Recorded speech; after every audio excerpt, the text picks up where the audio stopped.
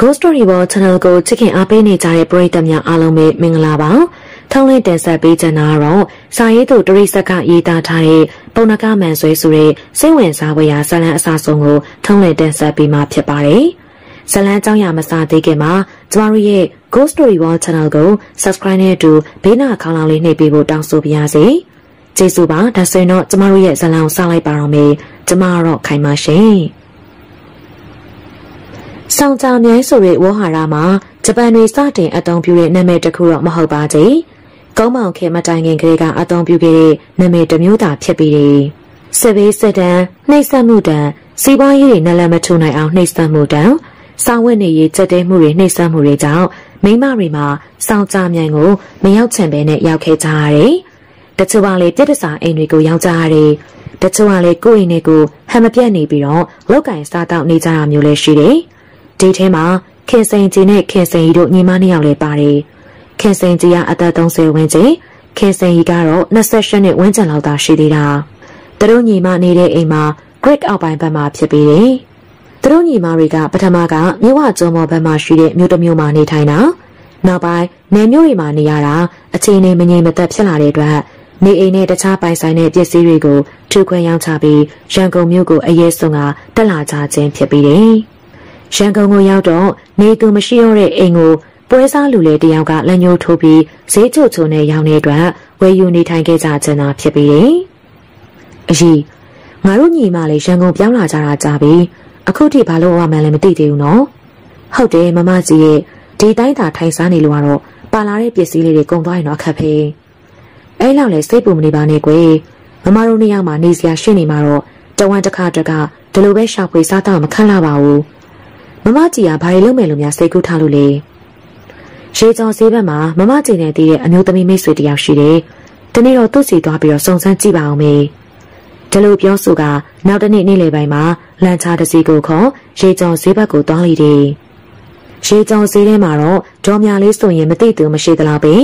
အင်္ဂလိပ်ခေတ်တုန်းကလေအင်္ဂလိပ်စက်သားစစ်ဗိုလ်တွေနဲ့အဆင်ပြေအောင်ပေါင်းသင်းဆက်ဆံရပြီးအခုဂျပန်ခေတ်ကိုရောက်တော့လေဂျပန်စစ်သားစစ်ဗိုလ်တွေနဲ့အဆင်ပြေအောင်ပေါင်းသင်းကရောင်းဝယ်စားတော့တယ်။ဒီနေ့မှာတော့ဒေါ်မြလေးဈေးရောက်နေတဲ့ဆိုင်ကိုဂျပန်စစ်ဗိုလ်တယောက်ရောက်လာတယ်။ဘာလို့ကျင်တယ်လဲမာစတာ။ရောင်းမှုပစ္စည်းရောပါသလား။ဒါဖြင့်ဘာလို့ကျင်လို့လဲ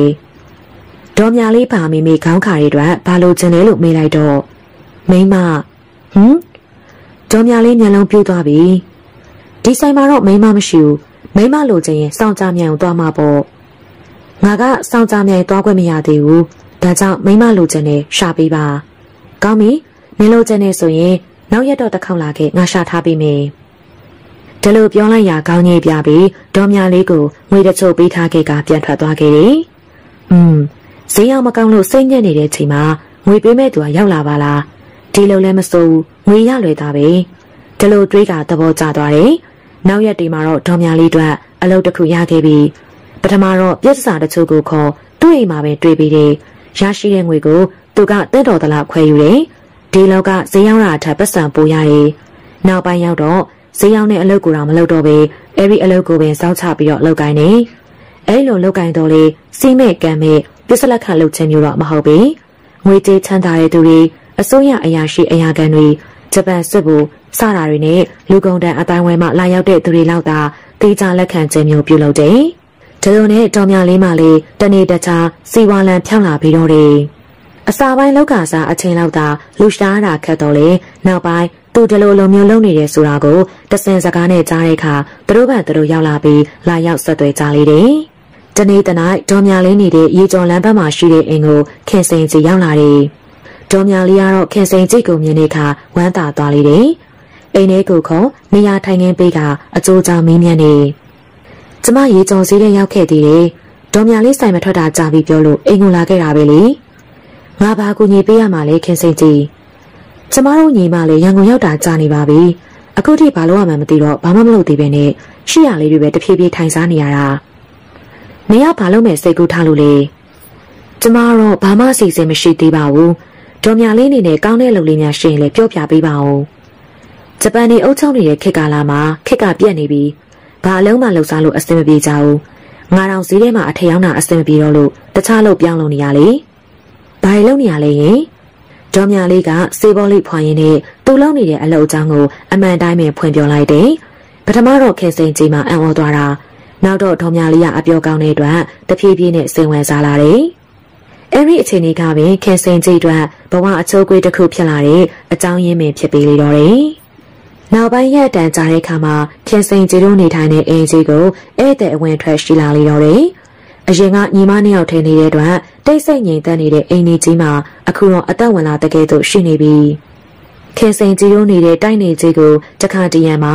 မြင်းလေးကောင်တက်တောက်ကက်ရထားကြီးနဲ့ဧည့်သည်တွေအဝင်ထက်ရှိလာတဲ့အတွက်ပတ်ဝန်းကျင်မှာစိတ်ဝင်စားမှုရှိလာပြီး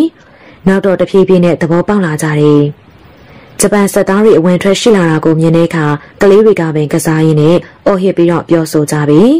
ခင်စိန်ကြီးခင်စိန်ကြီးလင်ယိုပတ်ဆက်သည်မာစတာတွေကဂျပန်ပြန်ပိုက်တလုံးနဲ့ကျန်းမွေးပြန်တော့လေသူကလေးအဖေမပေါ်ဘဲမွေးရောရောရှိရောရောရှိဒါလို့ဆိုတဲ့စကားတွေပင်ဖြစ်ကြတယ်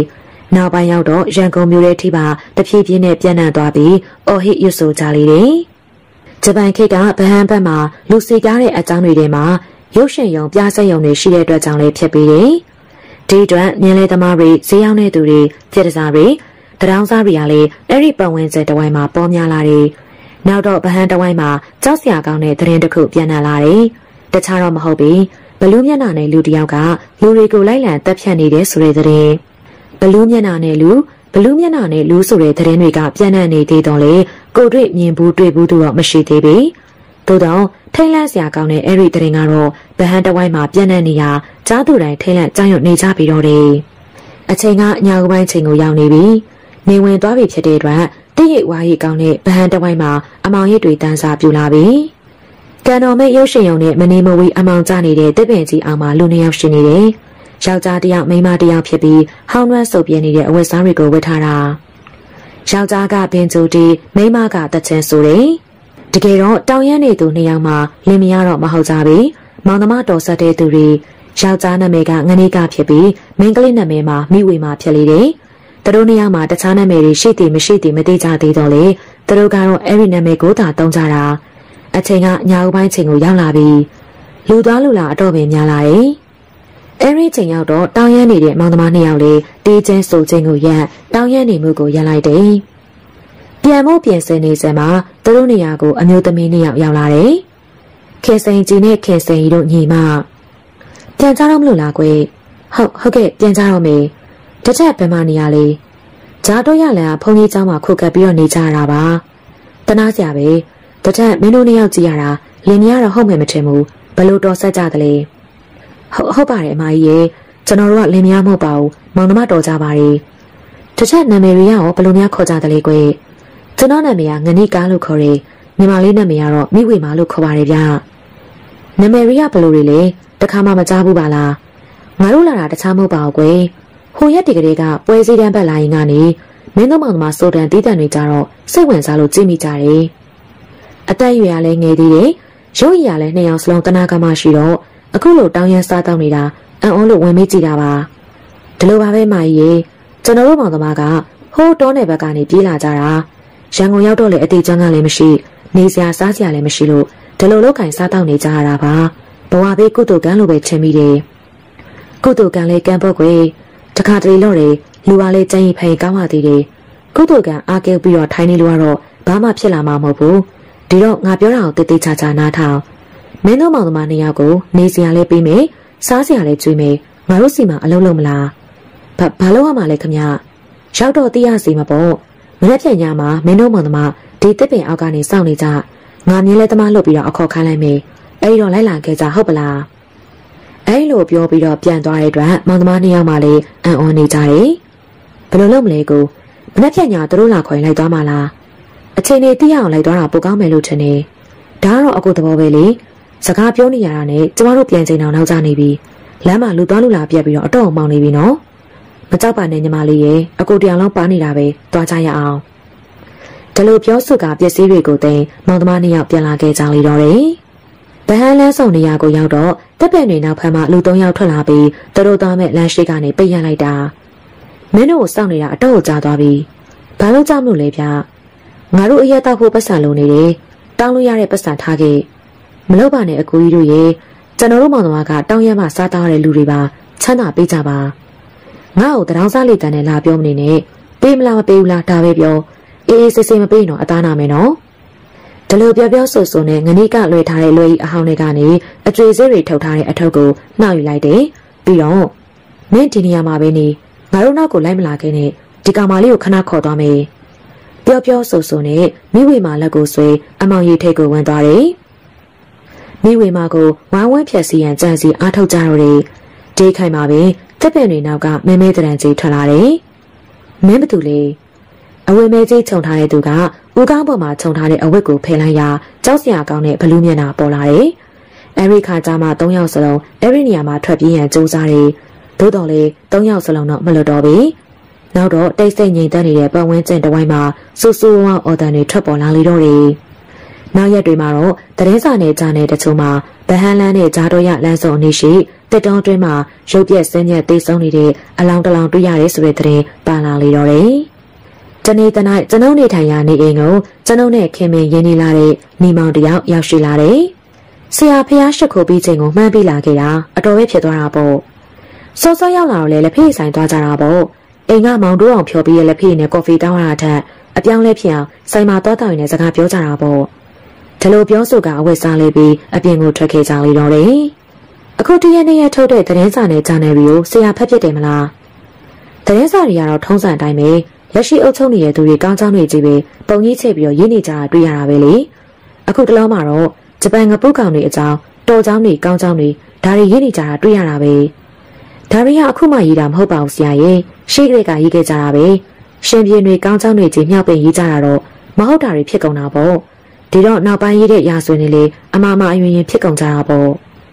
ဒါကတော့တမိုင်းရေးတဲ့သူတွေမှလေတာဝန်ရှိပြီတာပေါ့တမိုင်းရေးတဲ့ဆိုတာညာလုံးဝမရတာအမှန်ကိုအမှန်တိုင်းအရှိကိုအရှိတိုင်းရေးမှတာဝန်ကြီးမှာပေါ့ဒါပေမဲ့ရှေးကာကဘယင်မကောင်းကြောင်ပြောရင်ရေးရင်အသက်ခံရမှာပေါ့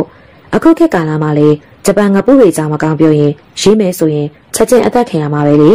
ဒါကြောင့်ကောင်းတာတွေကိုကြည့်ဟုတ်တာတွေရောမဟုတ်တာတွေရောရေးကြတာပေါ့ ကောင်းတာရေးတိုင်းလည်းအကောင်းဖြစ်တာတွေရှိသေးတယ်မောင်နီမောင်ရဲ့ဘာများလဲဆရာတလုံးကညံယုံမှာဇက်ကနေရင်းနဲ့မြောက်ပင်ရေးတာလက်လွန်သွားလို့စာရေးဆရာကြီးတယောက်ကန်ကောင်းလို့ဂျပန်တက်တာမခံရတာလေကျွန်တော်ခရီးထွက်နေလို့ဖြစ်မယ်မကြောက်လိုက်မိဘူးပြောပြပါအောင်ဆရာဒါကြောင့်ကျွန်ုပ်လေကြားသိရတဲ့အကြောင်းအရာတချို့ကိုပြန်ပြောပြလိုက်လေတော့တယ်တရင်စာတွေဖတ်တော့လေအစိုးရကောင်းကြောင်းတွေနဲ့ကြော်ညာတွေပဲပါတာဆိုတော့စိတ်ဝင်စားမှုတော့မရှိလာပါဘူးဒါပေမဲ့မနေ့ကတရင်စာမှာတော့တရင်တို့တခုကိုတွေ့လိုက်မိတယ်လေ ဘာတရင်ကိုပြောတာလဲဆရာမနေ့ညကကန်တော်ကြီးဆောင်မှာတန်းရွှေဆိုတဲ့လူမိုက်တယောက်အသက်ခံရတဲ့တရင်လေတက်သွားတာလူမဟုတ်ဘူးဘလူးမျက်နှာနဲ့လူတရားလူရေးကြတယ်တကယ်ပဲလားတရင်ရေးတဲ့သူတွေကပဲလူတွေစိတ်ဝင်စားအောင်လို့ပုံကြီးချိတ်ပြီးတော့ရင်းနေကြသလားတော့ပြောတတ်ဘူးနော်ကျွန်တော်လာလဲတခြားမဟုတ်ပါဘူးဆရာစီမှာမေးစရာလေးတွေရှိနေလို့လာခဲ့တာ။ဘာညလဲမောင်နေမောင်ရဲ့တခြားတော့မဟုတ်ဘူး။ဘလူးဆိုတာဒီလိုချိန်မျိုးမှာတကယ်ရှိနိုင်သလားဆိုတာသိကြလို့ ဘလူးဆိုတာကတော့ရာဆွေနေမှာရောနေဘက်တော်တွေမှာရောမဟာဝင်ဗုဒ္ဓဝင်တွေမှာပါပါတာပဲလေ။စတူလောကပါလာနာမည်ကြီးလေးပါစရင်ထဲမှာပါတဲ့ကုဝေဒာနာမည်ကြီးကဘလူးမျိုးတွေပဲမြတ်စွာဘုရားတော်အန်တုခဲ့တဲ့အာလာဝကနဘလူးကလည်းဘလူးပဲလေ။ဒီတော့ဘလူးဆိုတာလောကရှိကလေးကရှိနေကြတာဖြစ်မှာပေါ့။ကျွန်တော်သိချင်တာကဒီဘက်ခက်ကိုရောက်လာတော့ဘလူးတို့ငကားတို့ဆိုတာတွေရောရှေ့သေးရလာလို့မေးတာပါအရင်ကရှိခဲ့မှတော့အခုလည်းရှိမှာပေါ့မောင်နေမောင်ရဲ့ တွေးတင်တွေးထိုက်တဲ့အချိန်ကာလတုန်းကဘလူးတို့ငကားတို့တွေးကြရပြီးအခုမတွေးကြတာတော့မတွေးတဲ့မတွေးထိုက်မတွေးကြတာဖြစ်မှာပေါ့ဒါပေမဲ့မတွေးရတော့ညာလေမရှိပါဘူးလို့မျက်စိမိတ်ပြီးဇုံညင်းနေလို့လည်းမဖြစ်ဘူးဒီဘက်ကာလာတွေမှာဘလူးနဲ့တွေးကြတဲ့အကြောင်းအရာတွေရှိတယ်စမ်းစစ်ကြည့်မယ်ဆိုရင်တော့နှမျိုးလောက်တွေးရမယ်လို့ထင်နေဘယ်လိုမျိုးလဲဆရာရဲ့မောင်နီမောင်မေးလာတဲ့အတွက်ကျွန်ုပ်သိတဲ့အကြောင်းအရာတွေကိုပြောပြလိုက်လေတော့တယ်။ ဒီတိုင်းဆိုရင်တော့ဆရာပြောသလိုစေဝါအစီရင်ကြောင့်ဖြစ်တဲ့ဘလူးမျိုးရှိသလိုတဘာဝတိုင်းဖြစ်တဲ့ဘလူးတွေလည်းရှိနိုင်တာပဲ။အခုပေါ်နေတဲ့ဘလူးမျက်နှာနဲ့လူဆိုတာဘလူးအမျိုးအစားကြောင့်ဖြစ်တဲ့ဘလူးမျိုးဖြစ်မလဲမသိဘူးနော်။ဒါကတော့မောင်နီမောင်စိတ်ဝင်စားရဲဆိုရင်စုံတော့ကြော်ကြော်နဲ့ပူပေါင်းပြီးတော့လိလာစုံစမ်းကြည့်သိရမှာပေါ့။တကယ်လို့သိရပြီဆိုရင်လေဝတ္ထုဇာလန်လေးပါလေရေးလို့ရအောင်လို့လာပြောပြအောင်နော်။စိတ်ချပါဆရာရဲ့တခုခုသိရပြီဆိုတာနဲ့ကျွန်တော်ဆရာစီကိုလာပြောပြပါမယ်။ ဒါလို့ပြောဆိုပြီးနေမောင်ကလည်းကျွန်ုပ်ကိုနှုတ်ဆက်ကပြန်သွားလေတော့တယ်။အချိန်ကညနေပိုင်းချိန်ကိုရောက်နေပြီ။အဲလိုချိန်မျိုးရောက်ပြီဆိုရင်ငနီကနဲ့မိဝေမာတို့မောင်သမားနေရာမှာတင့်တော်တဲ့နေရာမှာထိုင်ပြီးတော့တောင်းရန်စားတော့ကြပြီအနှဲငယ်မောင်စားပြူလာတော့နှမဖြစ်သူမိဝေမာကအခုတင့်တက်တော့ရရင်ပြန်ကြရအောင်လေကျမတို့ပြန်မယ်လားလူပြတ်တော့တိတ်မောင်လာရင်တွားလို့မကောင်းတော့ဘူးကိုရဲ့ဟိုတနေ့ကလာသွားတဲ့အမကြီးနှစ်ယောက်လည်းမလာကြအောင်နော် အဲရီခိုင်မှာပဲသူတို့နှစ်ယောက်အနီးကိုညင်းလဲတစီလာရက်တယ်တနေ့ကလာသွားတဲ့အမကြီးတွေကမင်းတို့နှစ်ယောက်ကိုအခေါ်ခိုင်းလိုက်တယ်ညင်းလဲပေါ်တက်ကြကျွန်တော်တို့ကဘယ်နေရာလိုက်ရမှာလဲဗျစကားများလိုက်တာကွာဟိုရောက်တော့သိရမှာပေါ့မင်းတို့လုံနေရနဲ့ပြန်လာနောက်ကြတော့မှာပဲညဦးပိုင်းချိန်ရောက်ပြီမို့လမ်းတွေပေါ်မှာလူသွားလူလာရှင်းလင်းနေပြီညင်းလဲတချို့လောက်သာရှိတော့တာမောင်သမားနှစ်ယောက်ကတော့ငနီကာကသူ့မှာပါလာတဲ့လွယ်အိမ်နဲ့ဘင်းချိုကိုကြက်ကြက်ပါအောင်ကိုင် မိဝေမာကတော့အကိုဖြစ်သူလမ်းမောင်းကိုကင်ထားရီဒီလိုနဲ့လမ်းကျိုးတစ်ခုကိုရောက်တဲ့ချိန်မှာမြင်းလဲမောင်းတဲ့သူကမင်းတို့ကညအချိန်မတော်သွားလာနေကြတဲ့သူတွေဆိုတော့အခုတလားနာမည်ကြီးနေတဲ့ဘလူးမျက်နှာနဲ့လူနဲ့တွေ့မှာမကြောက်ဘူးလားဟွန်းမကြောက်ပါဘူးအတော်ကြောက်စရာကောင်းတယ်လို့ပြောရင်ငါတော့ညဘက်တွင်မြင်းလဲထွက်လာတာခက်လန့်လန့်ပဲမတော်သူနဲ့တွေ့ပြီးလူရောမျက်မှာတက်စားသွားရင်တော့အခက်ဖေးနော်မကြောက်ပါနဲ့ဗျာသူကလူကောင်းတွေကိုဘာမှမလုပ်ပါဘူးလူဆိုးတွေနဲ့တွေ့ရင်သာတတ်တာပါ ဟမ်မင်းကဘလို့သိနေရလဲသိတာပေါ့ဗျတလုံးကကန်တော်ကြီးစားမှာကျွန်တော်စီကပတ်စံတွေကိုလူသွားတဲ့လူဆိုးတွေကိုဘလူးမျက်နှာနဲ့လူနဲ့တွေ့ပြီးတော့တယောက်တက်သေးသွားတယ်လေအေးတရင်တော်ကြားလိုက်မိတယ်မင်းသူ့မျက်နှာကိုတွေ့လိုက်လားတွေ့ရတယ်ကိုခန္ဓာကလူဆိုပေမဲ့မျက်နှာဘလူးမျက်နှာဖြစ်နေတာဗျอืมပြောရနေတဲ့အတော့ကိုကြောက်စရာကောင်းနေပြီတွေ့များတွေ့ရင်တော့ဘလူးများနေမလဲမသိပါဘူးစကားတပြောပြောနဲ့မောင်းလာရာနောက်တော့ခင်စိန်ကြီးနဲ့ခင်စိန်တို့ညီမနှစ်ယောက်နေတဲ့ တိုက်နေကြီးရှိကိုရောက်သွားလေတော့တယ်။မကြောက်ပါနဲ့မင်းတို့မောင်သမားဘာမှမလုပ်ပါဘူး။ကျွန်တော်တို့ဘာကြောင့်ခေါ်တာလဲယင်။တခြားတော့မဟုတ်ပါဘူး။ဒီတိုက်မှာဘယ်သူမှမရှိကြဘူး။ငါတို့ညီမနှစ်ယောက်ဖက်နေကြတာ။ဒါကြောင့်မင်းတို့မောင်သမားငါတို့နဲ့နေခေါ်ထားပေးမယ်။ကျွန်တော်တို့ကဘာလုပ်ပေးရမှာလဲ။ငါတို့အိမ်မှာယောက်ျားသားမရှိတော့မင်းနေမယ်ဆိုရင်ငါစီးတဲ့ညင်းလေးကိုမောင်းရမယ်။အိမ်ကိုဧည့်သည်တွေလာရင်ကြိုပြီးတော့ဝင်ရဝစ်ဆလုပ်ပေးရမယ်။မြင်းလဲမောင်းတာတော့ထားပါတော့ဧည့်သည်တွေဘယ်လိုလုပ်ပေးရမှာလဲ ဒါရီကနောက်တော့တင်ပေးရင်တက်လွေပါတယ်မင်းအနေနဲ့လုံးမဲ့မလုပ်ဘူးသားပြောပါကျွန်တော်အတွက်ကတော့ဟုတ်ပါပြီကျွန်တော်နှစ်မလီရောဘာလုပ်ရမှာလဲသူကတော့အိမ်မှုကိစ္စလေးတွေကူညီပေးရမှာပဲဒါလည်းတင်ပေးရင်မခတ်ပါဘူးငါတို့ညီမကမင်းတို့မောင်သမားကိုမြင်တာနဲ့တနာခင်မယ်လို့နှက်ပီတင်ပေးတာကိုဖေးအေးတယ်ဆိုပြီးတော့မနေချင်တော့လေမင်းတို့သဘောပေါ့ကောင်းပါပြီ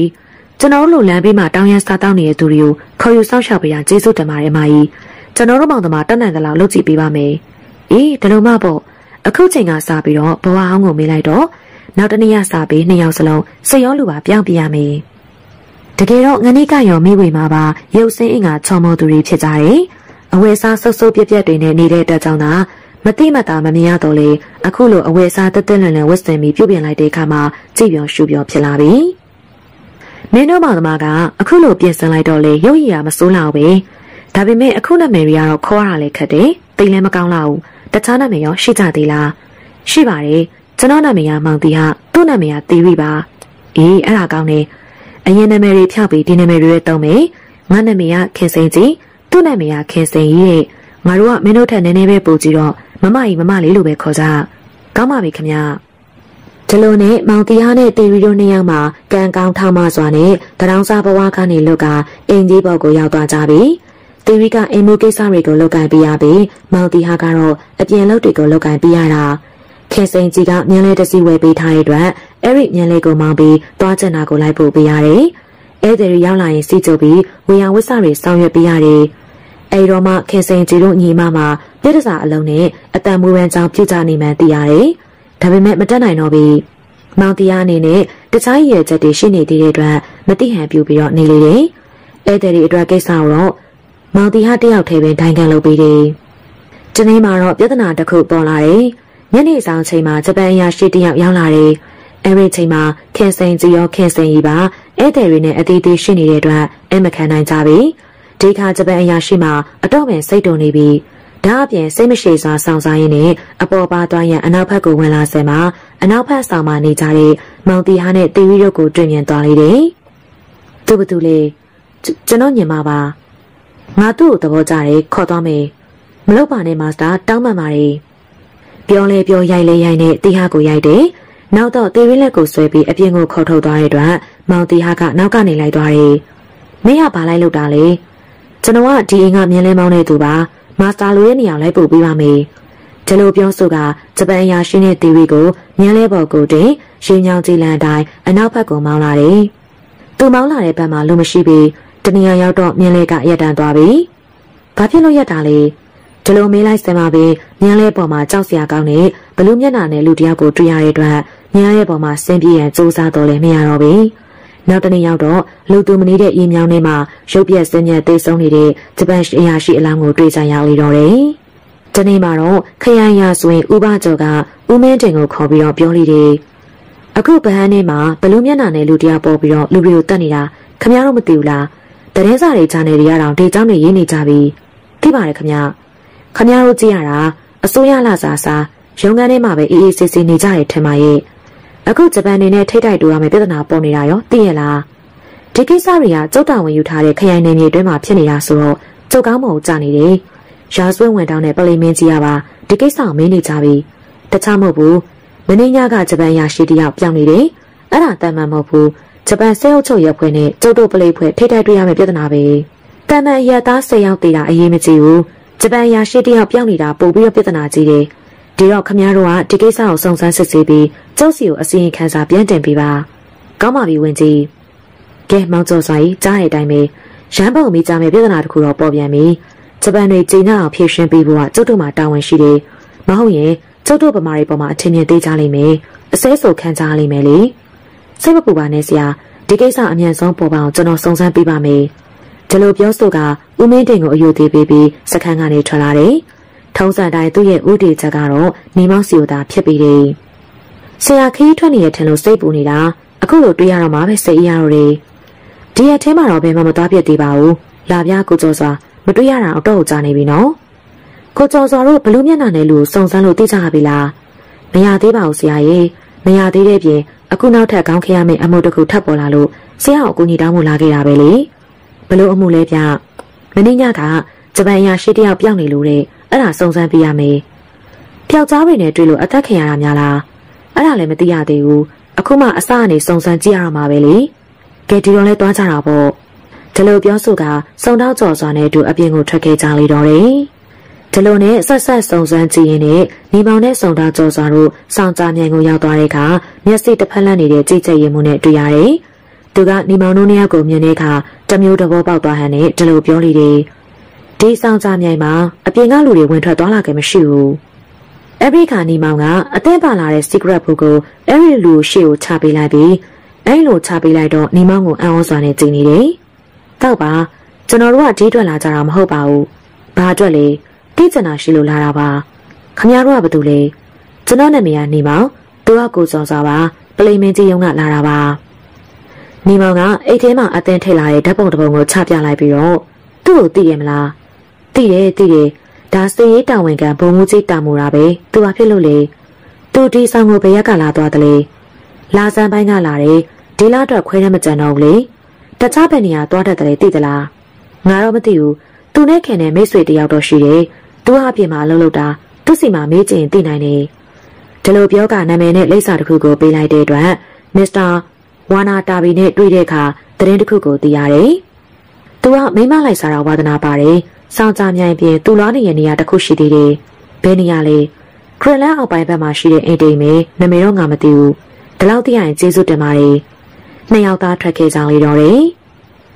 ဂရလန်ကိုမသွားဘဲနဲ့စားတောက်ဆိုင်ကိုအရင်သွားစားတောက်ပြီးတော့အဲ့ဒီအိမ်ကိုတွားရောက်စုံစမ်းတဲ့အခါဒေါ်မြလေးနဲ့တွေ့ရတယ်။ဒီနေရာတော့ဂျပန်စစ်သားတွေစစ်ဗိုလ်တွေလာတာမရှိဘူး။ဒီနေရာတော့ရှိတယ်။ပြောတာပြောပါကျွန်တော်တို့ကသူတို့အနောက်ရှက်ပြီးကိုတွားမှာမဟုတ်ပါဘူး။သိချင်တာလေးတော့မင်းမြတ်ရုံပဲ။ဒီလိုပြောပြီးဒေါ်မြလေးလက်ထဲကိုငွေနှင်းငယ်ထည့်ပေးလိုက်တော့မှကွရလန်အောက်ပိုင်းမှာရှိတဲ့လိပ်စာတစ်ခုကိုပြောပြတယ်။ဒီနောက်မှာတော့ဒေါ်မြလေးအိမ်မှာထွက်ခဲ့ပြီးကွရလန်အောက်ဖက်ဘလောက်ကိုဆင်းလာကြတယ်။ အလောင်းကိုရန်ကုန်စေးဟုတ်ကြီးကိုတင်ပို့ပေးပြီးနောက်မှုကဲဆရာဝန်ကခွဲစိတ်ကြည့်ရှုပြီးမှတ်ချက်ရေးပေးတယ်။မှုကဲဆရာဝန်ကြီးဦးမင်းဟန်မှာနေမောင်တို့နဲ့ခင်မင်းရင်းနေသူတအုပ်ဖြစ်တဲ့အတွက်တည်တဲ့အကြောင်းအရာတွေကိုသိရလေတော့တယ်။ဒေါက်တာဦးမင်းဟန်ပြောပြတဲ့ဒဏ္ဍာရီထဲမှာဘလူးကြီးတွေအကြောင်းမှာလူသားတွေရဲ့တမိုင်းကြောင်းတွေထဲမှာဆက်ဆက်ပါဝင်လျက်ရှိနေကြတာဒီတော့အခုတရင်ထွက်နေတဲ့ဘလူးမျက်နှာနဲ့လူဆိုတာလေမဖြစ်နိုင်ဘူးလို့အတက်ပြောလို့မရသေးဘူးဘာပဲဖြစ်ဖြစ်ပေါ့ ဒီလိုကိစ္စမျိုးစုံစမ်းမယ်ဆိုရင်တတိယရှိဖို့တော့အရေးကြီးတယ်ဗျအခုလိုတတိပေးတာရောတိကျနာတွေပြောပြပေးတာပါကျေးဇူးတင်ပါတယ်ဆရာဒီလိုပြောပြီးဦးမင်းဟန်ကိုနှုတ်ဆက်ကနှစ်ယောက်သားစိတ်ယုံကြည်မှပြန်ထွက်လာကြလေတော့တယ်အချိန်ကညဦးပိုင်းချိန်ကိုကြော်လာခဲ့ပြီဖြစ်တဲ့အတွက်လမ်းတွင်းမှာလူသွားလူလာရှင်းပြီးတိတ်ဆိတ်ငြိမ်သက်နေပြီကိုကြီးကသူတို့နဲ့ပတ်သက်ပြီးပြဿနာတစ်ခုဝင်လာတယ်သူတို့စီလာတဲ့ဂျပန်စစ်ကိုတာမူရာတိတ်ဆုံးသွားတဲ့ပြဿနာ သူတို့နေအိမ်မှာတိတ်ဆုံးခြင်းမဟုတ်တော့လေသူတို့ထံလာနေကြလူတရားဖြစ်တဲ့အတွက်ပြဿနာကလာရောက်ပတ်သက်နေတာဒီကနေ့နေ့လယ်ပိုင်းကပင်ဂျပန်စစ်ဗိုလ်တရားနဲ့စစ်သားတွေရောက်လာပြီးသူတို့ကိုမေးမြန်းစုံစမ်းသွားကြသည်တွေနောက်ထပ်လည်းရောက်လာကြပြီလေအောင်မေဒါကြောင့်ညနေချိန်ကိုရောက်တဲ့အခါတကားပေးလိုက်ပြီးတရားနဲ့တီရီတို့မောင်သမားနှစ်ယောက်ကိုခေါ်သူတို့တိတ်တိတ်မေးမြန်းစစ်ဆေးကြရတယ်။ရှင်မြောင်းထဲမှာကြာတည်တဲ့လောင်းကဂျပန်မာစတာတယောက်အလောင်းလို့ပြောကြတယ်။သူဒီရင်ကိုရောက်လာသေးတယ်မလား။ တီဟာကကောင်းကြီးပြလိုက်တယ်။ငါတို့နဲ့တော့မတွေ့လိုက်ရဘူး။ဘလို့ဖြစ်တယ်ဆိုတာအမှန်တိုင်းပြောပြစမ်း။သူကဒီအိမ်ရောက်လာပြီးကျွန်တော်ညီမလေးတီးပြီးတော့အတင်းဆွဲခေါ်သွားတာကျွန်တော်ကိုရိုက်နှက်ပြီးတော့မြင်းလဲနဲ့လိုက်ဖို့ခိုင်းနေလေဟမ်နောက်တော့ဘလို့ဖြစ်သွားတာလဲဒီကနေမောင်းသွားလိုက်တာဟိုဘက်ရင်မြောင်းကျင်းနာရောက်တော့ဘလူးမျက်နှာနဲ့လူကမြင်းလဲပေါ်ခုန်တက်လာပြီးသူ့ကိုတက်ဖြတ်သွားတာပါဒါဖြင့်ဘလူးမျက်နှာနဲ့လူနင်တို့တွေ့လိုက်ရတာပေါ့တွေ့ရပါတယ်နင်တို့နှစ်ယောက်ကိုတော့ဘာမှမလုပ်ဘူးလား မလုပ်ဘူးအံ့ဝန်းစရာပဲဘာပဲဖြစ်ဖြစ်ဒီပြဿနာကတော့အေးမှာမဟုတ်ဘူးဂျပန်နေပလိတ်တွေလာကြအောင်ပါပဲမြင်းလဲပေါ်မှာတက်သွားတာဆိုတော့တွေးတွေစွန့်ပိတ်မနေဘူးလားတကယ်လို့စွန့်ပိတ်နေရဆိုရင်ပြောင်းစင်အောင်စေးတာတော့ကြဂျပန်နေကမတင်ကြရင်ကေပေတိုင်ရုံကိုခေါ်သွားပြီးတော့နှိပ်စက်ကြလိမ့်မယ်တရားကတော့ကောင်းကြီးပြရုံပြလေးတယ်အမေရိကန်မှာခေဆန်ကြီးကဝင်ပြောတယ်ဘလူးမျက်နှာနဲ့လူကဒီလန်ထဲတောင်ရောက်နေပြီဆိုတော့ကြောက်စရာပဲနော်တိတ်မကြောက်ပါနဲ့ ဘလူးမျက်နှာနဲ့လူကအပြစ်မရှိတဲ့သူတွေဆိုရင်ဘာမှမလုပ်ပါဘူးမင်းကဘလို့သိနေရလဲအရင်တခါကျွန်တော်တို့ဒုက္ခရောက်တော့ကလည်းသူရောက်လာပြီးတော့ကိုကြီးပေးသွားခဲ့သေးတယ်ဒီတခါနဲ့ဆိုရင်နှစ်ခါတွေ့ပြီးပါပြီမင်းကသိလို့လားသူ့ကိုရောသိသလားသိပါတယ်တကယ်လို့မမကြီးတို့တွေ့ကြတယ်ဆိုရင်ခေါ်လာပေးပါမယ်မလုပ်ပါနဲ့မောင်တီရရဲ့ဘလူးနဲ့တွေ့တော့တတ်သွားရင်မခတ်ပေဘူးလားမခတ်ပါဘူးမမကြီးကြည့်ကြတယ်ဆိုရင်ကျွန်တော်ခေါ်ပြပါမယ်သူကလူကောင်းတွေကိုဘာမှမလုပ်ဘူးဒုက္ခရောက်နေအကူကြီးတော်ပေးသေးတယ် မင်းတကယ်ခေါ်လို့ရရင်တော့ခေါ်ပြပါအောင်မြင်ဘူးရရှိအောင်ကြည့်ရတာပေါ့ဒီလိုပြောတဲ့အတွက်တီဟာလေးတကားဖွင့်ကအပြင်ကိုထွက်သွားတယ်တိုက်တွဲမှာတော့ခင်စင်ကြီးတို့ညီမနှစ်ယောက်နဲ့တီရိတာကြံခဲ့တာအချိန်တော်ကြာသည့်အထိဘာမှမထိုးကြပဲတိတ်ဆိတ်ငြိမ်သက်နေရကနေနောက်တော့အပြင်ဘက်ကခွေးရောင်တန်တွေကြားပြီးတကားကကျွေကနေပွင့်သွားပြီးအရေးမဲကြီးတစ်ခုပေါ်လာတယ်အဝတ်အမဲကြီးခြုံထားတဲ့လူတစ်ယောက်အိမ်ထဲကိုဝင်လာတာ အတွင်းကိုရှောင်းလာပြီးသူတို့သုံးယောက်နဲ့မနေမွေးနေရကိုရောက်လာပြီးအိမ်ထဲမှာထုံထားတဲ့မိယောင်ကြောင့်သူ့ရဲ့ပုံရိပ်တံကိုမြင်ရတော့လေမျက်နှာကိုတော့မတွေ့ရပြီမနေမွေရောက်တော့အဲရီသူကမျက်နှာပေါ်မှာခြုံထားတဲ့အဝတ်အမဲကြီးကိုလက်နဲ့ဖဲချလိုက်တယ်အမလေးကြောက်စရာကြီးဘလူးဆိုတဲ့ကြောက်လန့်တကြားရေရွတ်တန်နေထွက်လာတယ်။မကြောက်ပါနဲ့။အန်နီရပေးဖို့လာတာမဟုတ်ပါဘူး။မြင်ဖို့တွေ့ဖို့အောင်လာပြတာပါ။ဒါပေမဲ့ဒီเจ้าကိုတော့ဘယ်သူမှမပြောပါဘူးလို့ကြိပေးရမယ်။မပြောဝတ်ပါဘူး။ ကောင်းပြီ။ကြိမတည်ဘူးဆိုရင်အတန်းနဲ့ခန္ဓာအိုးစားကွဲပြီလို့သာမှတ်ထားပါ။ငါကလာခြင်းရင်ဘယ်နေရာမဆိုလာလို့ရတယ်။ခေစင်ကြီးကကြောက်ကြောက်လန့်လန့်နဲ့ခေါင်းကြီးပြလိုက်တဲ့အခါနေရဲနေတဲ့မျက်လုံးပြူးပြူးကြီးနဲ့စိုက်ကြည့်နေပြီးတော့မှအခန်းထဲမှပြန်ထွက်သွားလေတော့တယ်။အဲဒီနေ့ညအဖိုးကတော့ခေစိန်ကြီးတို့ညီမအတွက်ကြောင်လုံးလုံးအိပ်ပျော်နိုင်တဲ့ညတညဖြစ်ခဲ့ပြီ။နောက်မနက်ပိုင်းချိန်မှာတော့ကရလန်တွင်းကိုလေရိုဘာကားတစ်စီးဖြည်းဖြည်းမှန်မှန်မောင်းလာပြီးမိမောင်က ခေစိန်ကြီးတို့အိမ်ကဖေးနားမှာလေခေစိန်ကြီးဆိုတဲ့အတန်ကြားတဲ့အတွက်ကလေးတွေကစိုးနေကြတဲ့ချင်းကိုအော်ဟစ်ဆိုလိုက်တော့တယ်။อืมဒါကအတိတ်နမိတ်တစ်ခုလည်းဖြစ်နိုင်တယ်။ဘလို့ကြောင့်လဲဆရာကြီးကလေးတက်ငယ်စကားအယူစကားတပင်သေးတွေပြောတဲ့စကားတွေကကောက်ယူတတ်မယ်ဆိုရင်အတိတ်နမိတ်ကောက်ယူနိုင်တဲ့တပေါင်းစကားတွေဖြစ်တတ်တယ်လေဆရာဘယ်လိုသဘောရတယ်လဲခေစိန်ချင်းနဲ့ပတ်သက်ရင်လေးလေးနက်နက်စမ်းစာသုံးသပ်ရလိမ့်မယ်လို့ထင်နေ ဒီလိုနဲ့သူတို့ကအဲ့ဒီတိုင်းရှိမှရက်တန်းလိုက်တဲ့အခါမှာဘာကိစ္စရှိလို့ပါလဲဗျခေစိန်ချင်းနဲ့တွေ့ရအောင်လာတာပါဒါခေစိန်ချင်းတို့အိမ်ဟုတ်ပါသလားဟုတ်တော့ဟုတ်ပါတယ်ဒါပေမဲ့သူရှိတယ်မလားငါတို့ကတခြားကိစ္စနဲ့လာကြတာမဟုတ်ပါဘူးအမှုကိစ္စနဲ့ပတ်သက်ပြီးတော့မေးချင်ညမ်းချင်လို့လာကြတာဘာကိစ္စများရှိလို့ပါလဲကျမခင်စိန်ကြီးပါသူကကျမရဲ့ညီမခင်စိန်ရင်လို့ခေါ်တယ်တွေ့ရတာဝမ်းသာပါတယ်ကျွန်တော်ကနေမောင်သူကစုံတော့ကြော်စွာလို့ခေါ်တယ် လာတာကတော့တိကျနာလေးတွေရှိနေလို့ဒီတပ်ပုံရှင်ကိုသိတယ်မလားမြင်မှုသလိုတော့ရှိပါတယ်ကျမတို့ကအသိမိတ်ဆွေများတော့ဇဝေဇဝါတော့ဖြစ်နေတာသူ့နာမည်ကတာမူရာလို့ခေါ်တယ်သူကဂျပန်လူမျိုးတယောက်ပဲဂျပန်တပ်မှာပုံမှုကြီးအစနဲ့တာဝန်ယူပြီးတော့ဆောင်ရွက်နေတာသူကခင်စိန်ကြီးတို့နဲ့အဆက်အသွယ်ရှိပြီးဒီရင်ကိုလည်းတပတ်တစ်ခါလောက်အဝင်ထွက်ရှိရဆိုလို့စုံစမ်းလို့တည်ပြီးပါပြီတဒါတော့ကျွန်တော်လာတာခမရတို့လုပ်ကိုအနောက်ရှက်ပေးဖို့လာတာမဟုတ်ပါဘူးသိကျင်တာလေးတွေမင်းနဲ့ကြည့်ကြလို့ မေးပါရှင်မေးပါသိရရှင်တော့ပြောပြပါမယ်စောစောကတကားလာဖွင့်ပေးတဲ့သူကဘာတူလဲခင်စိန်ကြီးတို့နဲ့ဘာတော်တလဲသူ့နာမည်ကမောင်တီဟာလို့ခေါ်တယ်အိမ်မှာမြင်းလဲမောင်းဖို့အတွက်ခေါ်ထားတာပါမစ္စတာတာမူရာနဲ့ပတ်သက်ပြီးခမရသိသမျှပြောပြပေးပါတိတ်များများတော့မသိပါဘူးဒီလိုတော့တပတ်တစ်ခါလာတတ်ပါတယ်ဘလို့လာပြီးတော့ဘလို့ပြန်သွားသလဲသူလာရင်မြင်းလဲနဲ့လာပြီးပြန်ရင်တော့ဘလို့ပြန်သွားလဲမသိပါဘူးသူဘာဖြစ်လို့လဲရင်သူတည်သွားပါပြီသူ့လောင်းကို ဟိုးအောက်ဖက်နာရေမြောင်းထဲမှာမတည့်ရတွေးကြရတယ်ဘလို့ကြောက်တည်တာလဲ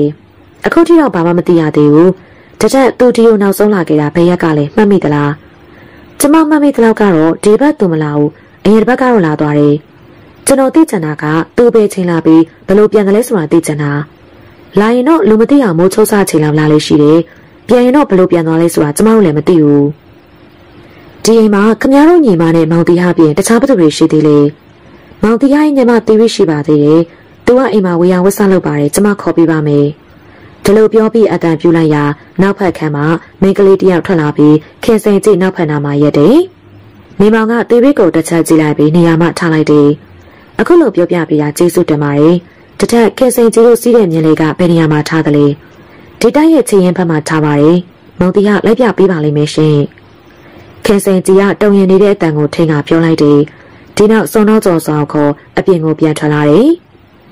နေမောင်ကတရားနဲ့ရက်ကသိကျန်တာတွေကိုမေးမြန်းနေစမှာစုံတော့ကြော်စွာကမြန်တဲ့ပုံကိုတက်စိတ်စိတ်ဆက်ဆက်ကြည့်ရှုနေတယ်စိတ်ကြင်နှလောက်အောင်ကြည့်ရှုစစ်ဆေးပြီးတော့နှစ်ယောက်သားအဲ့ဒီအိမ်ကနေပြန်ထွက်ခဲ့ကြပြီ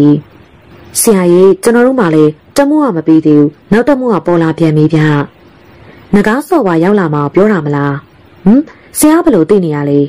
အချင်းတွေကိုဆက်ဆက်ကြည့်မယ်ဆိုရင်သိနိုင်တာပဲကိုကျော်စွာရဲ့ အခုတလောက်ထုတ်ဝေနေတဲ့သတင်းစာတွေဂျာနယ်တွေမှာငကားစော်ဝါရန်ကုန်မှာလာနေမယ်ဆိုတဲ့အကြောင်းပဲသတင်းထုတ်လုပ်ပြီးတော့ဖော်ပြနေကြတာမဟုတ်ဘူးလားအမှန်ပါပဲတကယ်တော့လူတွေကသူ့အကြောင်းကိုစိတ်ဝင်စားနေကြရဲဆိုတာထက်သူယူလာမဲ့ဗရမ ्या တော့ရဖူကြီးကိုစိတ်ဝင်စားနေကြတာဖြစ်မယ်ဗျဟုတ်မယ်ထင်တယ်လူတွေကစိတ်ဝင်စားနေတယ်လို့ရန်ကုန်မြို့မှာရှိတဲ့လူမိုက်ကြီးတွေလူစိုးကိုင်းတွေကစပြီးတဘိုးတခုခပတ်နိုင်တွေကလည်းတရေကြနေကြမှာအမှန်ပဲဒါတော့သိကြသလောက်ဖေးလေအဲ့ဒီထဲမှာ ဘလူမျက်နှာနဲ့လူတော်ပါကျန်ပါနေလိမ့်မယ်ဗဟန်းမြို့နယ်ထဲမှာဆိုတော့သူလဲပါကျန်ပါလာနိုင်တော့တာပေါ့ချက်ကောင်းကိုစောင့်နိုင်ရင်ရုံထောင်ကြောင်မိဆိုသလိုကျွန်တော်တို့လိုချင်နေတဲ့ဘလူမျက်နှာနဲ့လူတော်ရချင်ရနိုင်တယ်လေဒါကြောင့်အကူကြီးပေးလက်စားနဲ့အကူကြီးပေးပါအောင်လို့ဆရာအောင်လာပြီးတော့အကူကြီးတောင်းရတာပေါ့ဗျာဒီလောက်လဲစိတ်မပူပါနဲ့ဘလူးမျက်နှာနဲ့လို့ကျွန်တော်လဲစိတ်ဝင်စားနေတယ်ဆိုတော့ကိစ္စပြီးတဲ့အထိတော့အကူအညီပေးပါမယ်ကျေးဇူးတင်ပါတယ်တထက်တွေ့တော့မှမရအောင်ပဲငကားစော်ပါဆိုတာဘယ်လိုမျိုးလဲ ကျွန်တော်တို့ရှမ်းစော်ပါတွေအကြောင်းလောက်ပဲကြားဘူးလားဆိုတော့ငကားစော်ပါဆိုတာသိမသိဘူးကျော်စွာကမေးတဲ့အတွက်ညီမောင်ကသူ့မသားထားတဲ့တမိုင်းကြောင်းတချို့ကိုပြောပြလေတော့တယ်ကျွန်တော်ကိုတရားနေလည်းမကြတဲ့ရုံမာတဲ့ဒလီမျိုးတွေပဲနော်အဲ့ဒါမျိုးကိုတအူးတယောက်ထဲမှာအပြစ်ရှိတာမဟုတ်ဘူးကိုကျော်စွာရဲ့ပြုတဲ့သူမှာအပြုရှိသလိုအပြုခံရတဲ့သူတွေမှာလည်းအပြစ်မကင်းကြဘူးဘယ်လိုကြောင့်လဲသူတို့ကငွေပေးပြီးတော့တောင်ကြည်ကြည်နန်းနန်းနဲ့ခွင့်ပေးခဲ့ကြတာမဟုတ်လားလူတွေကလည်းအတော့ခတ်ပါလား ဂုံပကာသနာအတွက်ဆိုရင်မားတယ်မှန်တယ်မကြည့်တော့ဘူးစိတ်ထင်ရလောက်ကြတော့တာပဲဒါလည်းသူတို့ပြစ်ကြည့်တော့မဟုတ်ပါဘူးတကယ်ပြောရမယ်ဆိုရင်ကြောက်စရာအကောင်ဆုံးကယုံကြည်မှုနဲ့အယူအဆလွဲမှားမှုတွေကအဓိကတရခန်းလိုပဲပြောရမှာပဲမှားနေတဲ့အယူအဆတစ်ခုတော့မှကြားလိုက်အမှန်ဖြစ်သွားတတ်တာပဲလေကျွန်တော်သိရတဲ့လောက်ကတော့ငကားစော်ဝါရီကအမျိုးသမီးတွေနဲ့အတူနေခွင့်ပေးရတာနေအခွန်တော်လက်တော်ပကသနာတွေပုံများတယ်။ကြားသမျှတော့တစ်နှစ်တစ်နှစ်ရွှေငွေကြောက်တံပရံများတွေပြင် ငွေသားကြီး2000 3000ထိရတယ်လို့ကြားဘူးလေ။ဟန်ကြားလိုက်တဲ့အလုပ်ပြအစကတည်းကပလိမ့်လုံးမလုပ်ဖ ೇನೆ ငကားစော်ဝါအလုပ်သွားလို့မရင်ဒီလောက်ကြာရင်တော့တော့ချမ်းသာနေရောမေ။တစ်ချက်မေးရအောင်မေဟိုတနေ့ကခင်စင်ကြီးတို့အိမ်ကိုရောက်တော့ဘလို့တတိထားမိခဲ့တယ်လေ။သူတို့မူရာတွေကြည်ရတာတခုခုကိုဖုံးကွယ်ထားတယ်ဆိုတော့အကဲခက်မိတယ်။မြင်းလေးကိုသွားစစ်ဆေးကြည့်တော့ထူးခြားတာတချို့တွေ့ကြရတယ်လေ။ဘာတွေ့လဲ။သူတို့ရဲ့မြင်းလေးကိုစေကြောတန့်ဆင်ထားပေမဲ့တနေရာမှာစိုးပိနေတဲ့သွေးခွက်တွေ့ခဲ့တယ်။ နောက်ပြီးတော့တွန်းထိုးကန်ကြောက်ထားတဲ့လက္ခဏာတွေလည်းတွေ့ခဲ့ရတယ်။ဒါလို့ဆိုရင်တဲလွန်စာမဝေးတော့ပါဘူး။ဒီရက်ထဲမှာကိုကျော်စွာလောက်ရမှာကခင်စိန်ကြီးတို့နေအိမ်မှာရောက်နေတဲ့တရားနဲ့တီရီတို့မောင်မနှစ်ယောက်ရဲ့နောက်ကျောင်းရာဇဝင်ကိုသိအောင်စုံစမ်းပေးပါ။ကျွန်တော်စုံစမ်းထားပြီးပါပြီ။ဘာတွေထိုးတယ်လဲ။သူတို့နှစ်ယောက်ကကန်တော်ကြီးစောင်းဘက်မှာတောင်းရမ်းစားတောင်းနေတဲ့မောင်သမားနှစ်ယောက်ခခင်စင်ကြီးတို့ကအိမ်မှာခိုင်းစီဖို့ခေါ်ထားတာမကြသေးဘူးလေခိုင်းဖို့ပြင်တခြားရွယ်ချက်လည်းရှိပါလိမ့်မယ် သူတို့နဲ့ပတ်သက်ပြီးတော့ဆက်ဆက်မှုတစ်ခုတော့ရှိတယ်တယောက်ကကန်တော်ကြီးစားမှာအသက်ခံလိုက်ရတဲ့လူမိုက်တန်းရွှေတည်တဲ့ချိန်ကတရောင်းစားမောင်သမားနဲ့ပတ်သက်နေတယ်တန်းရွှေကကောင်မလေးကိုဆွဲခေါ်သွားတဲ့ချိန်မှာဘလူးမျက်နှာနဲ့လူရောက်လာပြီးတော့တတ်သွားတယ်လို့အစီရင်ခံစာထဲမှာတွေ့လိုက်တယ်ဒါလို့ဆိုရင်တော့စိတ်ဝင်စားစရာကောင်းလာပြီပေါ့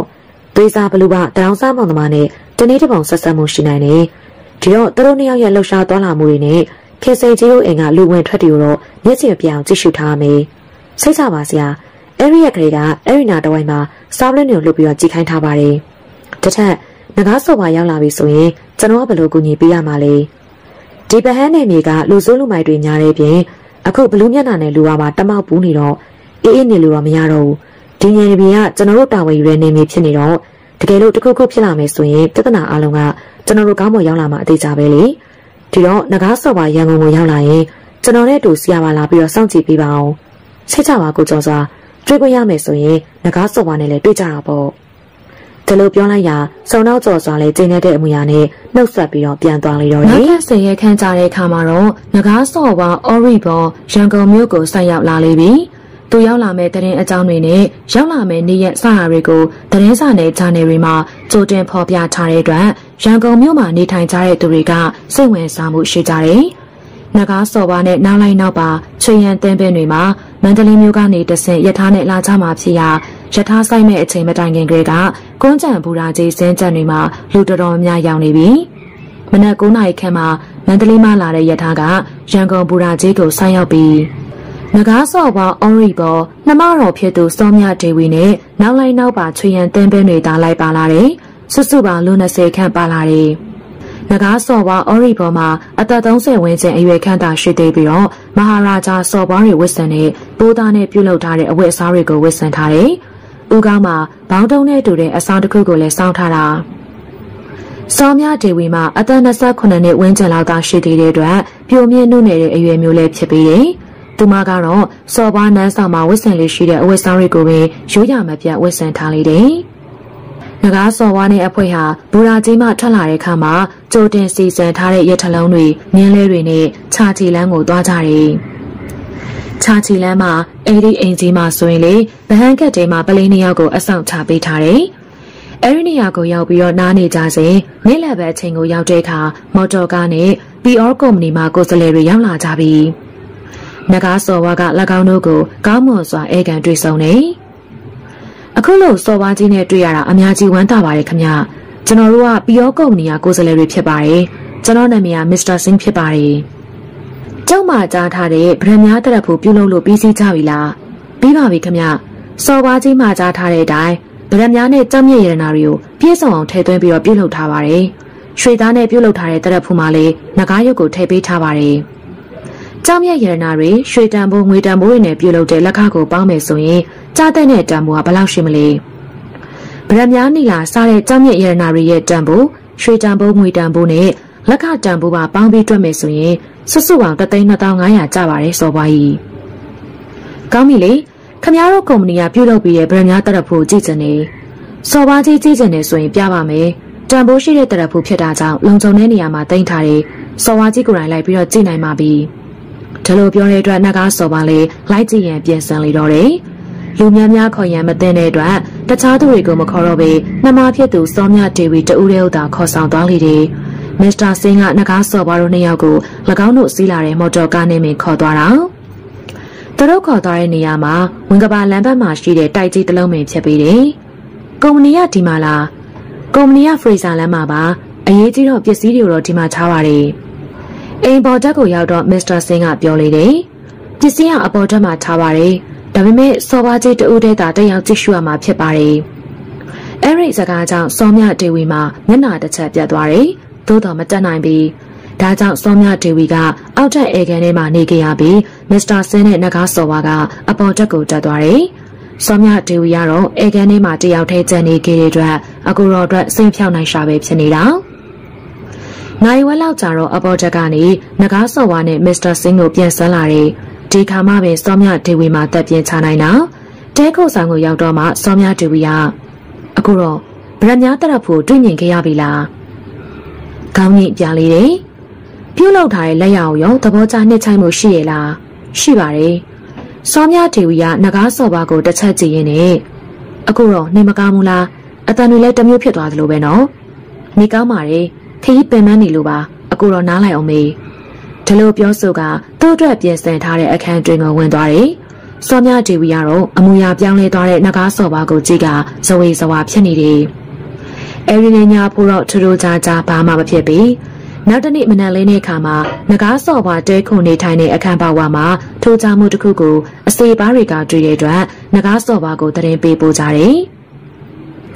ငကားစော်ပါအော်ရီဘော်ကအခန်းတွင်းမှထွက်လာပြီးကြည့်တဲ့အခါဆောင်ရွက်တရက်ပေါ်မှာရေးသားထားတဲ့ဘလူးမျက်နှာတစ်ခုကိုတွေ့ရတယ်။အောက်ဖက်မှာလည်းလက်ရည်နဲ့စာတကြောင်ကိုရေးထားတာ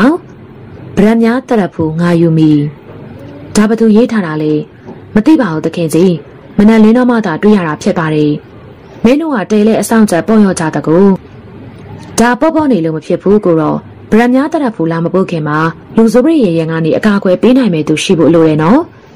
ငါတို့မှလည်းအဆောင်ချက်တွေပါလာတာပဲမဟုတ်ဘူးလားသူတို့ရှိနေတာပဲသူတို့ရှိနေပြီမဲ့အဲ့ဒီရဲ့ပေးမဲ့ရန်သူကအကူတော့အခန်းပေါက်မှာတော့ရောက်လာပြီးတော့စာကတ်သွားနေဆိုတော့သူတို့စီအားကိုးနေလို့တော့ဖြစ်မယ်လို့မထင်ဘူးတခုခုတော့ကြိုတင်စီစဉ်ထားရင်မမားပါဘူးအကူတော့တိတ်နေမကောင်းသေးလို့ဒီစီစဉ်စရာတွေကိုညီမတို့ပဲကြည့်ပြီးတော့စီစဉ်လိုက်ပါဒီလိုပြောကအခန်းတွင်းကိုပြန်ဝင်သွားတယ်။နောက်ထပ်အချိန်နဲ့ငယ်ကြားတဲ့အခါမှာတော့အဲ့ဒီအင်ဂျီကိုလူနှစ်ယောက်ရောက်လာတယ်။မိမောင်နဲ့စုံတော့ကြော်စားတော့တာဖြစ်ကြတယ်။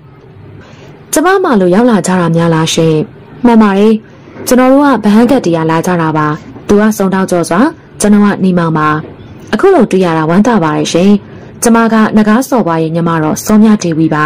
။ဒီနောက်စောမြဒေဝီကသူတို့ရောက်လာပြီးတွေ့ကြုံခဲ့ရတဲ့အဖြစ်အပျက်တွေကိုအတူချုပ်ပြီးတော့ပြောပြလိုက်တယ်။ဆိုင်ဘက်ကတ်ထားတာကဘယ်နေရာမှာလဲအပေါ်ချက်ကအကူတော်အိတ်တဲ့အခန်းပေါက်ဝမှာပါအပေါ်တက်ကြည့်ကြပါ ဒီလိုဆိုပြီးတော့သူမကပါလိုက်လာတဲ့အတွက်အပေါ်ချက်ကိုတက်ကြည့်ကြလေတယ်ငကားစော်ဘွားကဒီခန်းထဲမှာနေရလားဟုတ်ပါတယ်အကူတော်ကနေမကောင်းလို့ပြန်အိတ်နေပုံရတယ်နှိုးပြရမလားနေပါစေတိကျနာလေးတွေကိုစောမြတေပြီးကိုမင်းလည်းရပါတယ်ရပါတယ်ရှင်တိကျနာမေးပါဒီနောက်မှာနေမောင်ကတိတ်တိတ်ချာချာလိုက်လံကြည့်ရှုစစ်ဆေးလေတော့တယ်ဒီဆိုင်ရွက်ကဘသူလာကတ်သွားတာလဲဘာသဘောလဲရင်အခုတလောဗဟန်းနယ်ထဲမှာဘလူးမျက်နှာနဲ့လူတယောက်တောင်းဆနေတယ် ဘလူးမျက်နှာနဲ့ဆိုတော့လူလားဘလူးလားလူတော့လူပါပဲဒါပေမဲ့သူကဘလူးအသွင်ပြောင်းလို့ရတဲ့ပုံစံမျိုးဖြစ်မယ်လို့ထင်တယ်ဒီဆောင်ရွက်ပေါ်မှာဘလူးမျက်နှာမျိုးရေးထားတာဆိုတော့သူ့လက်ချက်ပဲဖြစ်မယ်လို့ထင်စရာရှိရဲ့လေသူကဒီအိမ်ထဲကိုဘလို့ရောက်လာတာလဲကျွန်တော်လည်းတည်တည်ချာချာတော့မသိရသေးဘူးဒီမှာစောမြဒေဝီတို့နဲ့ပါလာတဲ့အဆောင်ရှောက်တွေရောပလိန်နှစ်ယောက်ပါရှိနေပါရဲ့နဲ့ဘယ်နေရာကဝင်လာနိုင်တယ်လဲမသိဘူးနော်ဒီလိုဆိုရင်ဒီအိမ်ကြီးမှာနေရတာတော့စိတ်မချတော့ဘူးကျမတော့ကြောက်တောင်လာပြီဒါလောက်လည်းမကြောက်ပါနဲ့ ကျွန်တော်တို့တတ်နိုင်သလားကိုကြီးစောင့်ရှောက်မှုပေးပါမယ်ကျေးဇူးတင်ပါတယ်ရှင်တထက်ဆရာကပလေးဖွဲ့ရလားကျွန်တော်ကပလေးဖွဲ့မှာအမှုထမ်းနေရတူတော့မဟုတ်ပါဘူးဒါပေမဲ့ဝါသနာပါလို့ဝင်ပြီးတော့ကိုကြီးပေးနေတာပါ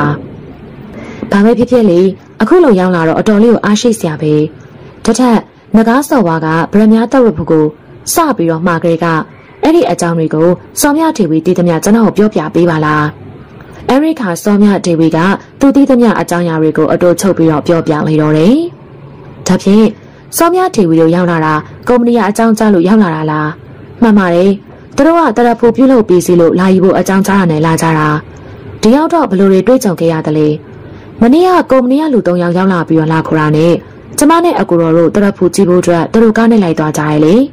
နှစ်ယောက်တည်းလိုက်သွားကြတာလားဟုတ်တယ် တခြားသူတွေမခေါ်ခဲ့ဘူးပြောတာနဲ့မောင်မနှစ်ယောက်တည်းလိုက်သွားကြတာပီယောကုမ္ပဏီကမြို့လျာဖရေဇာလမ်းပေါ်မှာရှိတဲ့ထမရဲ့အဲ့ဒီကိုခေါ်သွားတာလားမဟုတ်ဘူးရှင်ဒီကနေသွားရင်တိမ်မဝေးတဲ့တိုက်ကြီးတစ်လုံးနဲ့ကိုခေါ်သွားတာ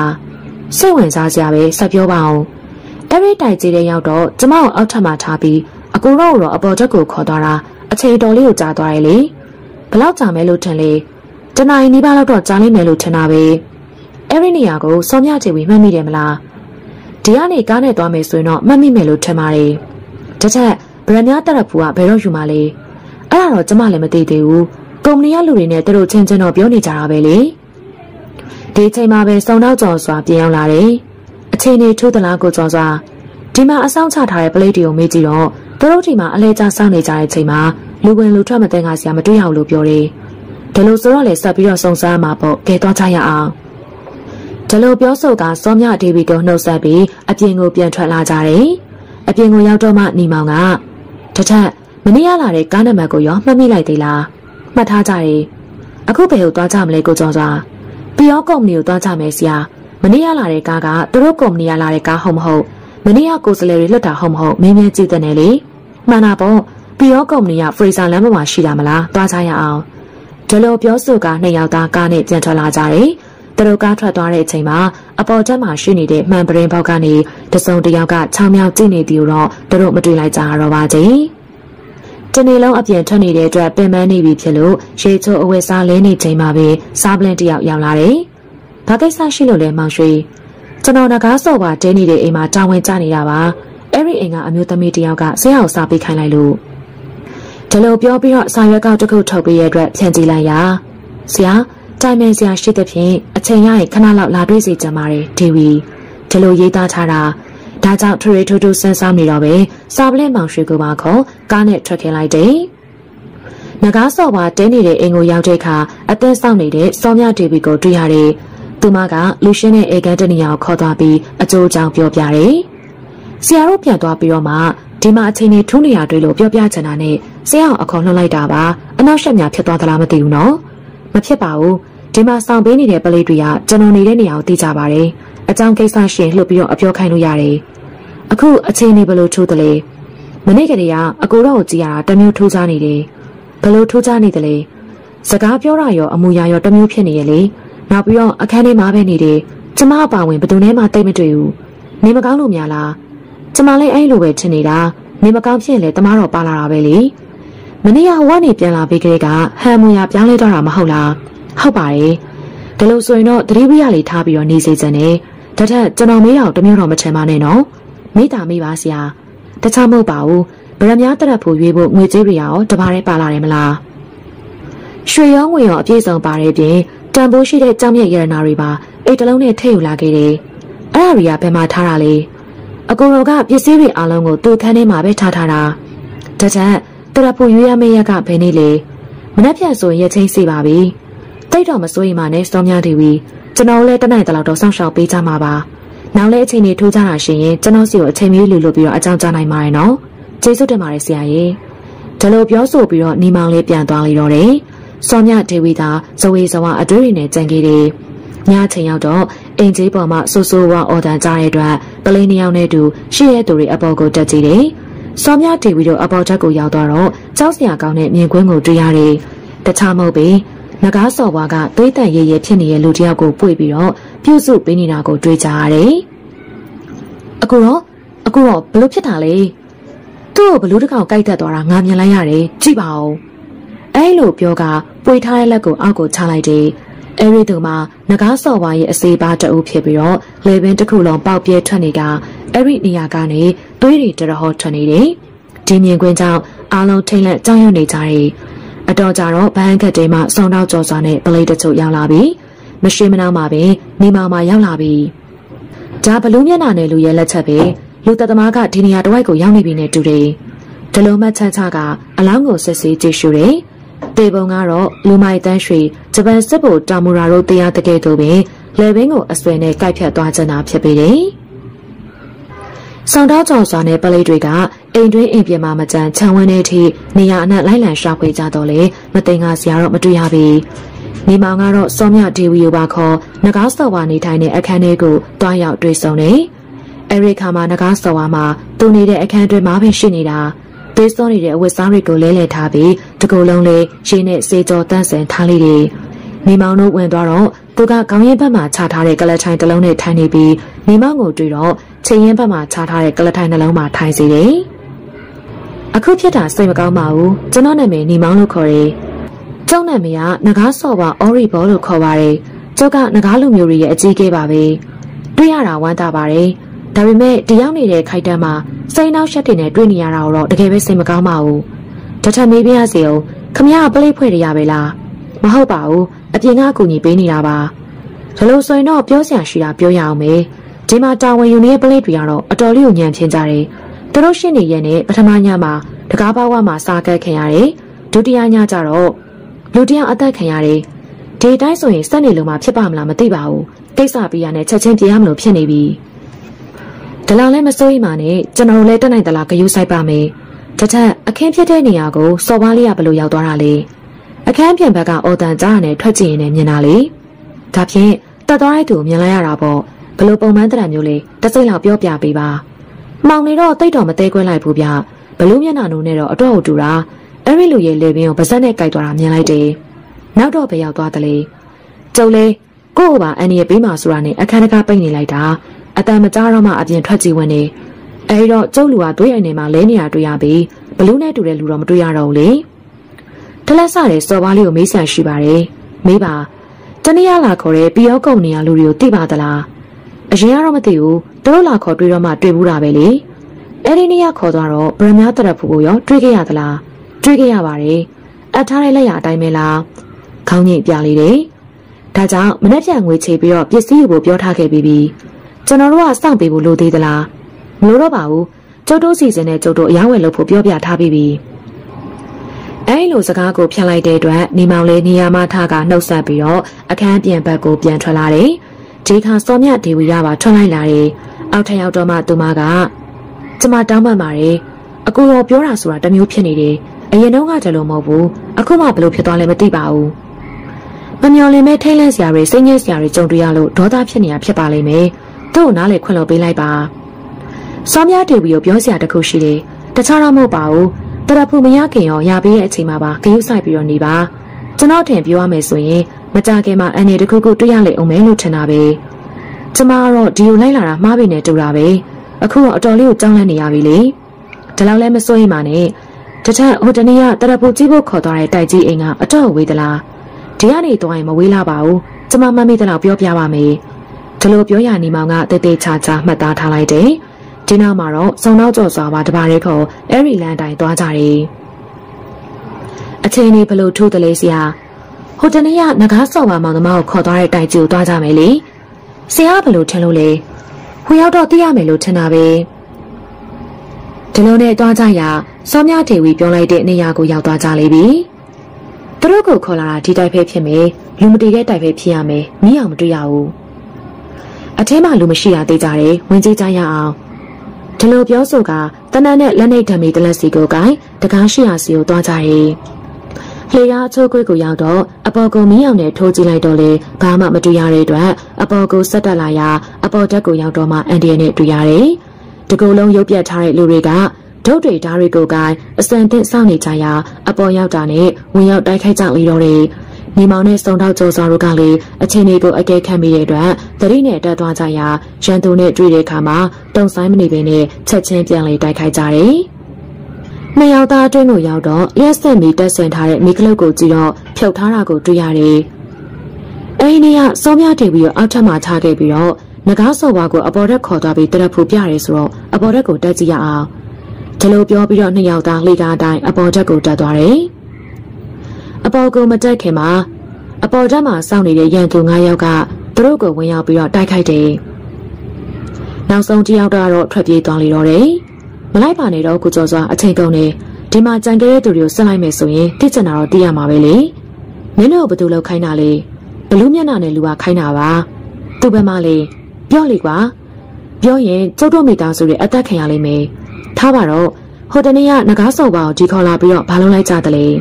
။မေးမြန်းတဲ့အချိန်မှာသူတို့ထံကအကျိုးကြောင့်သိရတဲ့အခါမှာတော့၎င်းကိုထားခဲ့ပြီးရဲ့နောက်နောက်ဖက်မှာရှိတဲ့အခန်းတစ်ခန်းရှိကိုသွားကြတယ်။ အဲ့ဒီနေရာရောက်တော့တကားပိတ်ထားတာကိုတွေ့ရတဲ့အတွက်ပြိုင်တူဆောင်တွန်းပြီးတော့ဖွင့်လိုက်တယ်။တကားပွင့်သွားတော့ကျမ်းမြင်ပေါ်မှာခြေရောလက်ရောကျုပ်တုပ်ပြီးပါဇက်ပါအဝတ်စီးထားတဲ့လူတစ်ယောက်ကိုတွေ့ကြရလေတော့တယ်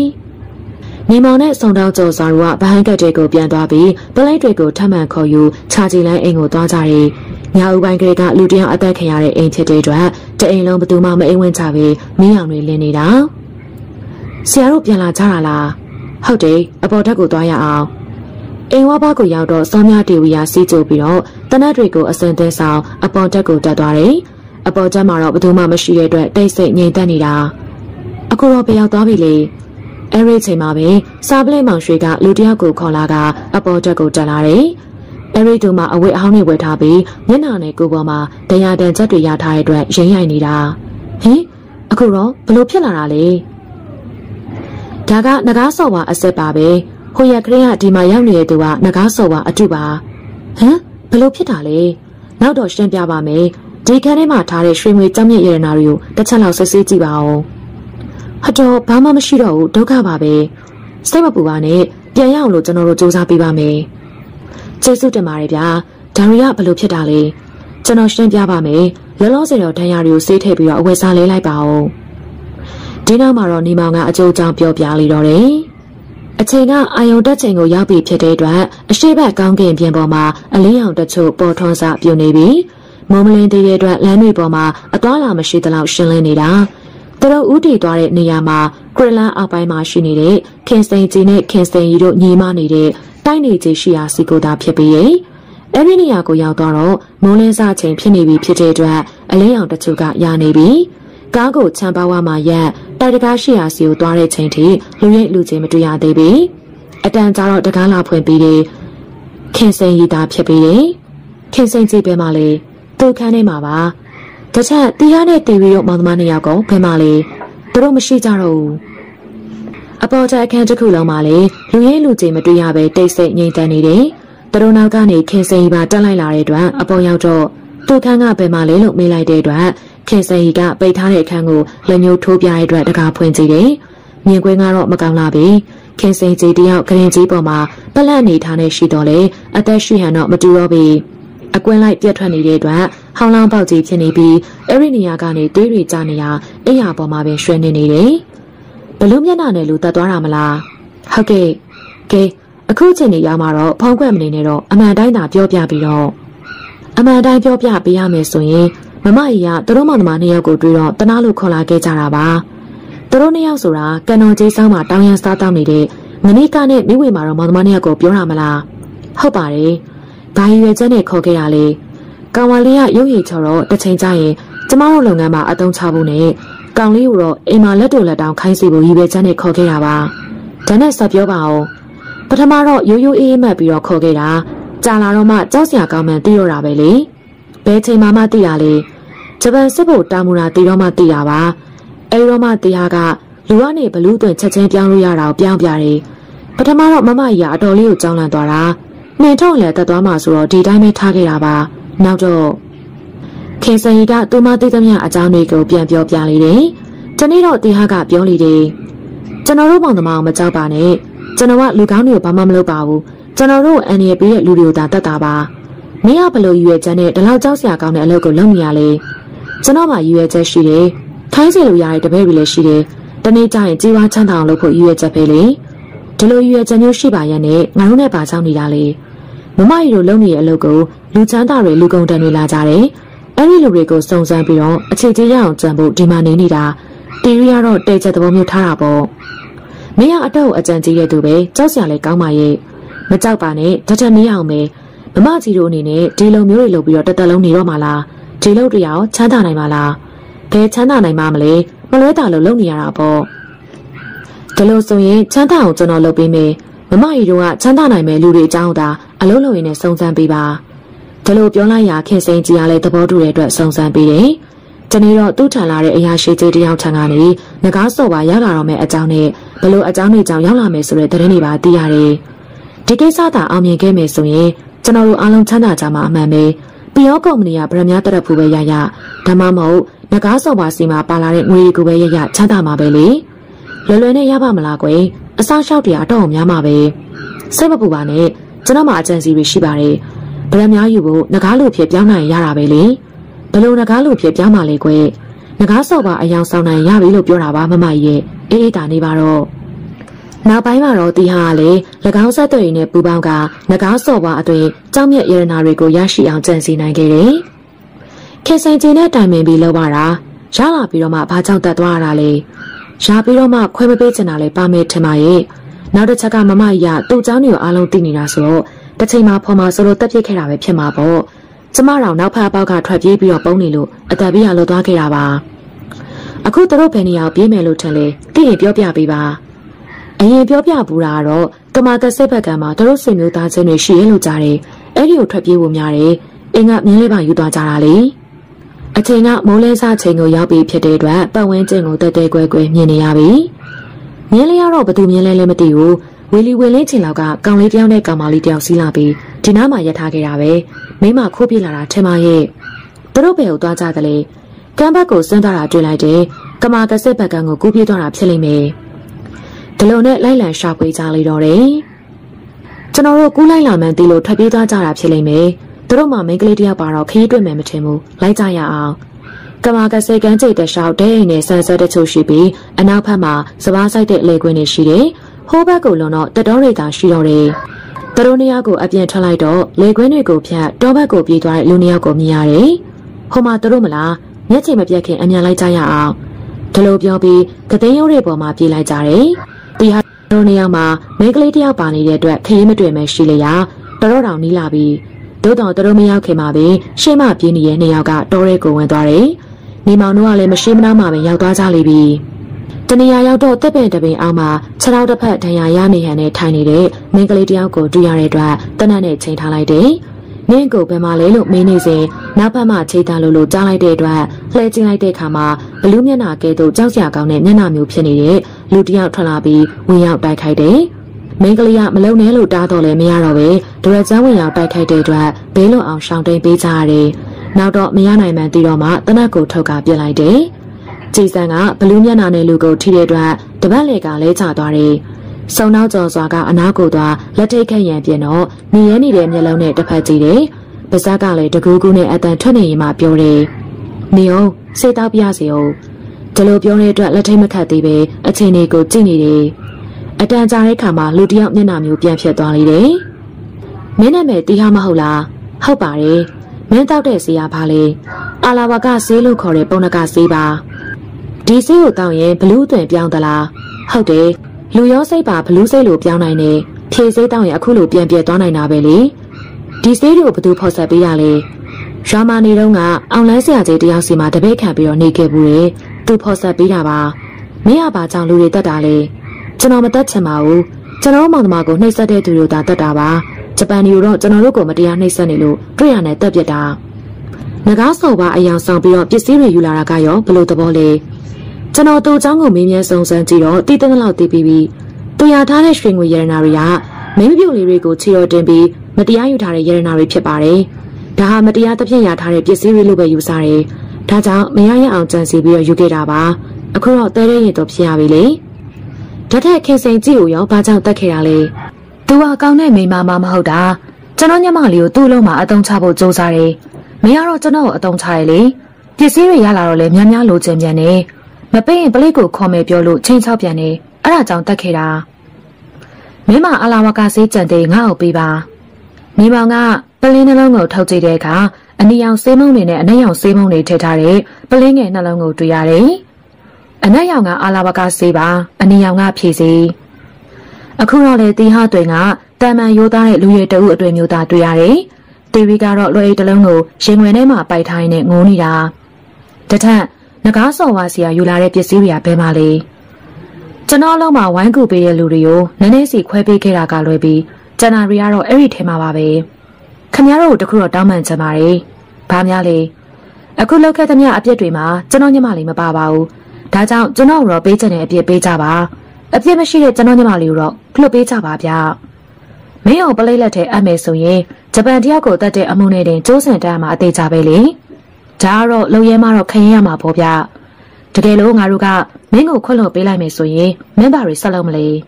။ဆရာတော်ကသာကျွန်တော်ကိုချမ်းသာပေးမယ်ဆိုရင်ကျွန်တော်ညမလေးကိုစိတ်ချတဲ့နေရာမှာအပ်ချခဲ့ပြီးကျွန်တော်ကတော့ဂျပန်ဒေါ်လာရင်းတက်မှာဝင်လုံးမလို့စိတ်ကူးထားတာပါပဲ။ညီမောင်ကလက်ထဲမှာကင်ထားတဲ့လွယ်အိတ်ထဲမှာရွှေငွေတချို့ကိုလက်နဲ့အနှိုက်ယူပြီးတရားလက်ထဲကိုထည့်ပေးလိုက်တယ်။ပထမတော့အံ့ဩနေတဲ့အတွက်မယူဝင်သေးပဲနဲ့ရှိနေတာ။ယူသားယူပါကွာ။ ဒါကမင်းတို့မောင်သမားနှစ်ယောက်အတွက်ပေးတာ။ဒီအိတ်ထဲမှာကြံနေတဲ့ကြောင်မြက်ရတနာတွေကိုပြန်မပေးရင်တော့မှငကားစော်ဘွားကဝမ်းသာနေမှာပါ။မင်းလောက်ခဲ့တာတွေပြန်ကြည့်တော့လှုပ်တန်လှုပ်ထိုက်တာတွေကိုလှုပ်ခဲ့တယ်ဆိုတာငါတို့ကခွက်လို့ပေးပါတယ်။ငါတို့ကိုနှိမ့်ဆက်နေတဲ့ဖက်စစ်ဂျပန်တွေကိုငါတို့ကိုယ်တိုင်မတော်လာနိုင်သေးပေမဲ့တကယ်တော်လန်ချန်တဲ့စိတ်မျိုးရှိနေတဲ့ရဲဘော်လောင်တယောက်ကိုတော့ဂျပန်တွေလက်ကိုမအပ်ချင်တော့ဘူး။ဒါကြောင့်မင်းတို့မမနှစ်ယောက်ကိုခွင့်လွှတ်ပေးလိုက်ပါမယ်။တွားလို့ရတာတွားကြပြီးတော့ ဒီကျေးဇူးကိုတော့ကျွန်တော်တသက်ဘယ်တော့မှမမေ့တော့ပါဘူးဗျာ။အဲလိုပြောဆိုကြောကြပြီးရဲ့နောက်မောင်သမားနှစ်ယောက်တော်ရဲကိုဝင်သွားတယ်။ဒါအပြင်စုံနောက်ကြော်စွာနဲ့နေမောင်တို့ကလည်းကမာကစစ်ဘက်ကိုပြန်လာတယ်။နဂါးစော်ဘွားရဲ့ရွှေငွေရတနာတွေပြင်ရလာလို့နဂါးစော်ဘွားကကျင်းနေပြီမေဂျပန်တရားကိုတတ်သွားတဲ့တရက်ခန့်ကိုဖမ်းမမိလို့ဂျပန်တွေကတော့ကျင်းနေကြမယ်မထင်ဘူးမကျင်းတတ်တော့လဲနေကြပေါ့အာလာဝကစီယာဒီမှာပါလာပြီဆိုတော့နောက်ထပ်ဘလူးမျက်နှာနဲ့လူစိုးကိုလေထပ်တွေ့ရတော့မှာမဟုတ်တာ ကြာရင်တော့မေးသွားကြမှာပါနောက်ပြီးသူတို့လည်းဗမာပြည်မှာကြာကြာနေကြတော့မှာမဟုတ်တာတွေးပုံမနေစမ်းပါနဲ့ဟုတ်တော့လေဟုတ်ပါတယ်ဘလို့အကြောင်းနဲ့ပဲဖြစ်ဖြစ်ကိုယ်နိုင်ငံသားတယောက်ကိုဖက်ဆက်နေချက်တွေနှိပ်စက်လို့သူတို့တွေနှိပ်စက်ဖို့အတွက်အပ်ပေးရတာတဘာဝမကြဘူးတထက်ဆရာယူလာတဲ့အာလာဘကာစီယာရောဘာလုပ်မှလဲကျွန်တော်တော့ဘာမှမလုပ်တတ်ပါဘူးဒီကိစ္စမျိုးတွေကျွမ်းကျင်တဲ့ဆရာကြီးသူရိစာနဲ့ဥပကောင်တို့လက်ထဲကိုအပ်ပေးလိုက်ရမှာပေါ့ဒါလည်းကောင်းတာပါပဲ နှစ်ယောက်သားစကားတပြောပြောနဲ့လေကွင်းနေမှာပင်ဖျက်လျှောက်လာရာနေ့လယ်ပိုင်းအချိန်မှာကမာကစစ်ဘက်ကိုပြေးရောက်လာကြလေပြီနောက်ရက်တွေမှာတော့နဘာစော့ပွားကြီးအော်ရိဘောကလည်းမိမောင်နဲ့စုံနောက်ကျော်စွာတို့ကိုကြီးဆောင်ရွက်ပေးတဲ့အတွက်ဘလူးမျက်နှာနဲ့လူလက်ကိုပါသွားခဲ့တဲ့ရွှေငွေရဲနာတွေကိုပြန်ရခဲ့တဲ့အတွက်ပီယောကုမ္ပဏီမှာအနံ့ထားတဲ့ဗရမများတရက်ဖို့ကြီးကိုလည်းကောင်းမွန်စွာနဲ့ရွေးယူနိုင်လေပြီ။ ဒီလိုကိုကြီးဆောင်ရွက်ပေးခြင်းကိုကျေးဇူးဆက်တဲ့အနေနဲ့နေမောင်နဲ့စုံတော့ကြော်စွာတို့ကိုဗရမများတစ်လုံးစီပေးလေတယ်။ဒီလိုနဲ့အကူကတော့ဆရာတို့နှစ်ယောက်ကိုအတော်လေးကိုကျေးဇူးတင်နေလို့နေရက်ကိုပြန်မယ်ဆိုရင်တော့ခေါ်သွားပြီးတော့ကျေးဇူးဆက်ချင်နေပုံရရလေ။ကိုကျော်စွာကတော့ဝန်ထမ်းဖြစ်နေလို့လိုက်ခွင့်ရမရမသိပေမဲ့ကျွန်တော်ကတော့လှုပ်လှုပ်လတ်လတ်နေတဲ့သူဆိုတော့လိုက်မယ်ဆိုရင်လည်းလိုက်လို့ရပါတယ်ဒီလိုဆိုတော့လေဆရာပဲလိုက်ခဲ့ပေါ့ကျွန်တော်ဆရာလို့မခေါ်ဘဲနဲ့နာမည်ပဲခေါ်ပါလားခေါ်စီချင်းခေါ်ပါမယ် ကျမနာမည်ကိုလည်းအတူပဲခေါ်လို့ရပါတယ်ဒေဝီလို့ခေါ်ပါမယ်ပြောရမယ်ဆိုရင်တော့ဒေဝီနဲ့ခုလိုတွေ့ဆုံခွင့်ရတာကျွန်တော်တကယ်ပဲဝမ်းသာပါတယ်ဘာဖြစ်လို့လဲတကူတကတွေးကြလို့တော့တွေးခွင့်မရနိုင်တဲ့သူတယောက်နဲ့အခုလိုတွေ့ရလို့လေမျိုးကြီးသားဆိုတော့စကားပြောရတော့အတော်လေးကိုကောင်းတယ်ကျမတို့ကစော်ပါမောင်နှမလို့သာခေါ်ကြတာနေတာကတော့တော်ရဲတောင်ထဲမှာဆိုတော့စကားပြည့်ရတော့တိတ်ပြီးတော့မကြွယ်လောက်ဘူးကျွန်တော်စိတ်ထဲမှာတကယ်ရှိတာကိုပြောတာပါဒီဝီနဲ့ခုလိုတွေ့ရတာအိမ်မက်တစ်ခုလိုပါပဲ အဲ့ဒီအိမ်မက်ကလေးပြန်ပြောက်သွားမှတော့စိတ်ထဲကနေစိုးရိမ်နေမိတယ်လို့ပဲဧည့်သည်ဆိုတာအချိန်တန်တော့လေပြန်ကြမှာပေါ့ဘသူကလက်ခံထားချက်မှမလို့လေလှပတဲ့အိမ်မက်တစ်ခုကိုစက်မှတ်ချင်နေတဲ့သူကတော့တတလုံးလက်ခံထားပေးချင်နေတာပေါ့ဒီလိုဆိုရင်ပုံမှန်လင်းလင်းပဲပြောလေပုံမှန်လင်းလင်းပြောရမယ်ဆိုရင်စောမြတေဝီနဲ့တွေ့တဲ့ချိန်ကတိတ်ပြီးတော့မကြလာပေမဲ့မြင်းစားကလေးကစိတ်ဝင်စားနေတာပါဒါကြောင့်ကျွန်တော်မြတ်တောင်လက်ခံစမ်းစားပေးပါဒီလိုဆိုရင်တော့ချက်ချင်းတော့သိရမှာမဟုတ်ပါဘူး အချိန်ယူပြီးစမ်းစားမှာဆိုတော့ဟိုလိုက်လာခဲ့လေဒီမှာပြောလို့မရဘူးလားဟိုရောက်တော့မှလိုချင်တာမရရင်ပြန်ရခတ်နေလိမ့်မယ်အပြင်းခတ်တော့လည်းမပြန်မဲနဲ့နေလိုက်ပေါ့ဘသူကလက်ခံထားမှာမလို့လေခေါ်သွားတဲ့သူကပဲလက်ခံထားမှာပေါ့ဒါဒေဝီရဲ့အဖြေလားဒေဝီကပြောင်းရင်းနဲ့ခေါင်းညိတ်ပြလေတယ်ဒီလိုဆိုတော့လေသဘောပေါက်ပါပြီဒေဝီတို့ပြန်ကိုလိုက်လာခဲ့ပါမယ်ဒါပေမဲ့တခါတည်းတော့ပြောထားရအောင်မေခေါ်တော့ကခေါ်ပြီး ပြန်ရင်တော့လိုချင်တာမရဘဲနဲ့တော့ပြန်မှာမဟုတ်ဘူးနော်ဘယ်လိုသဘောရတယ်လဲအဲလောက်လေအချက်ကင်နေပါနဲ့တော့မောင်ရဲ့ဒီလောက်ပြောနေမှာတော့ကျမသဘောကိုလည်းသိလောက်ပါတယ်ကျမလည်းမောင်ကိုစတွေ့ကြတဲ့ကအားကိုးလောက်တဲ့လူတစ်ယောက်ဖြစ်နေနှစ်သက်သဘောကျမှုရှိနေကြတာပဲလေဒါကြောင့်မောင်လူချင်တာအားလုံးသဘောကျဖြစ်စီရမယ်လို့ခရီးပေးတာပေါ့ဒီစကားကြားမှပဲစိတ်အေးရတော့တယ်ကိုရကေပဲဝမ်းသာပါရယ်ကွာဒီလိုပြောဆိုကစောမြတေဝီလက်ကလေးကိုစုပ်ကင်ထားလိုက်လျာ သူမကလည်းပြန်လဲစုပ်ကင်ထားလိုက်လေတော့တယ်အခုတော့နေမောင်နဲ့စောမြတေဝီတို့နှစ်ဦးအတွက်ချစ်ချင်းမြတ်တာနဲ့သာကြည်နူးခြင်းကလွယ်ပြီးတခြားအကြောင်းအရာတွေရှင်ထဲမှာရှိကြတော့မှာမဟုတ်ပါကြ။ဒီကနေ့ရဲ့ Ghost Story Ball ချန်နယ်ကနေထုံးလင်းတင်ဆက်ပေးခဲ့တာကတော့စာရေးသူတရိဆက်ကရေးသားထားတဲ့ပုံနကမှန်ဆွဲဆိုတဲ့စိတ်ဝင်စားဖွယ်ရာဇာတ်လမ်းအစဆုံးကိုထုံးလင်းတင်ဆက်ပေးခဲ့တာပါ။ နောက်တစ်ခေါက်တွေမှာဆိုရင်လေပရိသတ်တွေကြားနေတတ်စီမဲ့ဇာတ်လမ်းအကြောင်းအရာတွေကိုဆက်လက်ပေးချေထုံးလင်းတင်ဆက်ပေးမှာဖြစ်လို့စောင့်မျှော်ကြည့်ရှုအားပေးချစ်ခင်ကြပါအောင်လို့ပြောကြရင်းနဲ့ဒီနေ့စီစဉ်နေနှုတ်ဆက်ပါရရှင်။ချစ်ခင်ပေးလို့ကျေးဇူးပါရှင်။